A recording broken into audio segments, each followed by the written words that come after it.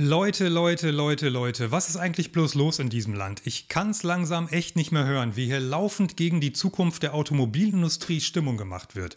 Gerade gestern ist mir wieder ein besonders krasses Beispiel über den Weg gelaufen, wo einfach mal eine völlig hanebüchene Behauptung aufgestellt wurde, bei der man sich auf eine amerikanische Studie beruft und das Ganze dann in einem Artikel veröffentlicht und als Facebook-Post raushaut. Natürlich wird der Post dann tausendfach geteilt und mit den üblichen Häme-Kommentaren oder sogar blank blankem Hass versehen. Und diese Stimmungsmache, die richtet sich gegen die deutsche Automobilindustrie. Ja, ihr habt richtig gehört, gegen die deutsche Automobilindustrie. Denn wenn man ständig gegen E-Autos hetzt, dann schadet man nicht den Grünen oder der EU, man schadet unseren Autoherstellern. Denn die haben sich ja nun bei uns längst committed, dass E-Autos unsere mobile Zukunft sind. VW, Audi, Porsche, Mercedes, BMW und Opel, die arbeiten doch schon längst auf 2035 hin, wenn der letzte Verbrenner vom Band laufen soll. Dass mir jetzt der Kragen geplatzt ist, das liegt nicht unbedingt an der Überschrift an sich. Die lautete nämlich einfach nur Aktuelle Studie zeigt E-Autos auf lange Sicht teurer als Verbrenner und kam von der Zeitschrift Chip. Ja gut, da denkt man sich als erstes, an welcher Verbrennerlobby-Uni in Detroit haben jetzt die denn schon wieder irgendeinen Käse zusammengerechnet?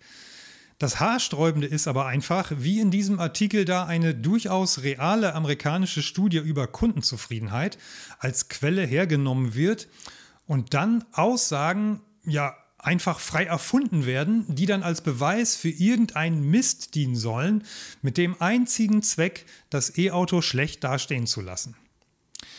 So, und nach dem Intro erkläre ich euch, worum es in dem Artikel ging und welchen Blödsinn die Chip-Redaktion sich dazu ausgedacht hat und was wir jetzt alle konkret dagegen machen können. Also wird spannend, deswegen unbedingt dranbleiben. Diese Sendung wird euch präsentiert von Store and Charge, euren Experten für Ladezubehör. Kurz zusammengefasst gab es im Juni eine Autoqualitätsstudie des amerikanischen Marktforschungsunternehmens JD Power. Das machen die schon seit vielen Jahren und liefern mit ihren Ergebnissen wichtige Daten für den amerikanischen Automarkt. Und aus dieser Studie will Chip nun herausgelesen haben, dass Elektroautos auf lange Sicht viel teurer als Verbrenner sind und gleich der erste Satz spricht da Tacheles. Lange dachte man, dass E-Autos für Fahrer auf lange Sicht günstiger sind. Eine neue Studie widerlegt dies nun. Und die Begründung kommt sofort. Elektroautos gelten als wartungsarm, weil sie weniger Verschleißteile haben. Doch eine aktuelle Untersuchung von JD Power widerspricht dieser Annahme. Elektrofahrzeuge und Plug-ins benötigen in sämtlichen Reparaturkategorien mehr Wartung als benzinbetriebene Fahrzeuge.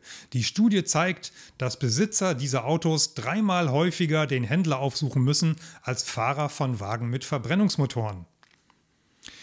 Okay, das leuchtet doch sofort ein. Wenn ich dreimal mehr in die Werkstatt muss, wird es auch logischerweise dreimal so teuer. Nur ist es leider frei erfunden. Dass Besitzer von Elektroautos dreimal häufiger den Händler aufsuchen müssen, ist in der Studie überhaupt nicht erwähnt. Die JD Power Studie bezieht sich einzig und allein auf Probleme in den ersten 90 Tagen nach dem Kauf, was natürlich nicht bedeutet, dass die langfristigen Wartungskosten höher sind. Wir reden hier von den ersten 90 Tagen. Wenn es da was zu bemängeln gibt, dann läuft das doch sowieso über Garantie. Also ohne jegliche Kosten, egal welcher Hersteller und egal ob Verbrenner oder E-Auto. Und wenn JD Power von Problemen schreibt, dann sind das, wie sie selber analysieren, Beschwerden wegen der Spracherkennung, wegen Verbindungsproblemen bei Android Auto oder Apple CarPlay, Bedienungsproblemen beim Touchscreen oder mit dem Navigationssystem und instabile Bluetooth-Verbindungen. Ganz hinten in der Problemtabelle stehen dann übrigens Rivian, Tesla und Polestar, also reine Elektrohersteller. Und bei denen, da wurden dann ungenaue Reichweitenangaben, Lackschäden, Kofferraumklappen und Windgeräusche und Gequietsche bemängelt. Die drei sind übrigens dicht gefolgt von Audi und VW mit nur unwesentlich weniger Problemen. Aber was soll's? Rivian, Tesla, Polestar, alles reine E-Auto-Hersteller. Und bei denen gibt es in den ersten 90 Tagen die meisten Kundenbeschwerden. Da müssen die also viel häufiger in die Werkstatt als die anderen. Also sind E-Autos viel teurer in Erwartung. Ist doch logisch. Und das bringt Chip dann so auf den Punkt. Die Ergebnisse der Studie verdeutlichen, dass Elektroautos trotz des geringeren Anteils an verschleißbaren Teilen häufiger repariert werden müssen und dass es noch viele weitere Verbesserungsmöglichkeiten gibt. Und um dem Ganzen noch die Krone aufzusetzen, kommen sie dann zum Schluss auch noch mit dem allgegenwärtigen Problemen bei leeren Batterien um die Ecke. Zitat ein Fall macht das besonders drastisch deutlich. Eine Großmutter aus dem US-Bundesstaat Arizona hat einen Albtraum erlebt. Ihre kleine Enkelin war plötzlich im E-Auto gefangen. Die Batterie des Teslas war plötzlich leer und der Wagen verschlossen. Schon bei ihrem Eintreffen zeigten sich die Einsatzkräfte besorgt. Oh nein, das ist ein Tesla. In diese Autos kommen wir nicht rein. Letztlich konnten sie das Kind retten, indem sie die Scheibe einschlugen. Also Leute, abgesehen davon, dass ich diese Begebenheit ebenfalls für völlig frei erfunden halte, betrachten wir uns das doch mal ein bisschen ernsthaft. Die Großmutter fährt also Tesla. Plötzlich war die Batterie leer. Das kann dann ja eigentlich nur die 16 Volt Bordnetzbatterie gewesen sein, denn die ist für die Türöffnung zuständig. In jedem Tesla gibt es eine mechanische Notentriegelung für die Türen. Gut, die kleine Enkelin im Auto und die Oma vielleicht außerhalb des Autos wussten das vielleicht nicht, aber die Einsatzkräfte? Ich tippe mal auf die Feuerwehr. Ich meine, selbst in den USA, da sollte die Feuerwehr doch auf die gängigen Automarken geschult sein und wissen, wie man eine Tür notentriegelt. Also Leute, Mann, Mann, Mann, Mann, Mann, Mann, Mann. Und wenn ihr euch fragt, was hat diese Anekdote mit den Wartungskosten zu tun, die Antwort nichts.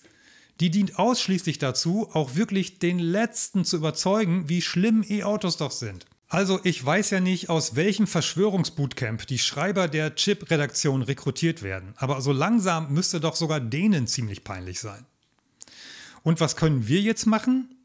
Wir machen jetzt und hier unsere eigene Studie. Die ist vielleicht nicht repräsentativ, aber wenigstens ehrlich und praxisnah. Schreibt mir doch bitte in die Kommentare, wie hoch bei euch die Betriebskosten mit eurem E-Auto sind. Ihr seid ja mit Sicherheit vorher auch Verbrenner mal gefahren und habt da ganz bestimmt einen Vergleich mit früher. Bei mir sind es zum Beispiel 35 Jahre, bevor ich jetzt seit sechs Jahren nur noch E fahre. Und ich kann für unsere beiden E-Autos sagen, dass die laufenden Wartungskosten der letzten vier Jahre gegen Null tendieren. So, das soll es jetzt fürs Erste gewesen sein. Ich fühle mich jetzt ein bisschen wohler und hoffe, euch hat das Video auch gefallen. Und wenn ja, gebt mir einen Daumen nach oben und lasst mir gerne ein Abo da. Dann sehen wir uns hoffentlich beim nächsten Video. Würde mich freuen, wenn ihr wieder dabei seid. Bis dahin, macht's gut. Ciao.